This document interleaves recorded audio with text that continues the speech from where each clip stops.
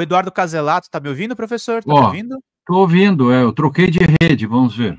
Tá tudo certo. Eduardo Caselato mandou: Olavo de Carvalho falava que Pepsi usava fetos aborta- abortados com ado- com- como adoçante. Feita tal consideração, pergunto. Lênio, tal como o direito com pós-positivismo, a extrema-direita tem o pós-olavismo também? É uma espécie de pós-olavismo. Eles aprenderam, porque qual é o truque do olavismo e quejandices?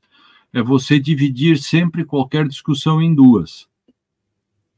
Entende? Você divide o, o, o, o país em o mundo em comunistas e não comunistas, e você é do lado do. considerando que você seja um.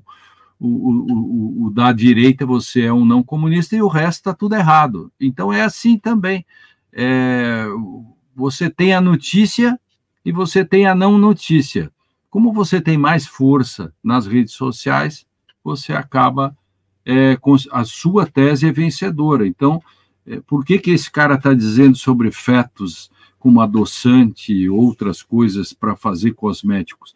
Porque porque eles é, têm o domínio daquilo que nós não temos coragem é, de dizer que as redes sociais são a praga contemporânea que acabaram é, é, com a própria democracia ou estão acabando com a democracia. Por quê?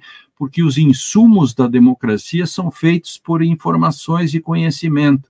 No momento em que você deixa que esses, esses, a esfera pública ela seja substituída por coisas como essa do Sóstenes e outros, você acaba, obviamente, não tendo o insumo da democracia. Nenhum, nenhuma semente cresce sem, nenhuma plantação se dá sem os insumos. Você não faz comida sem os insumos. A democracia precisa de insumos.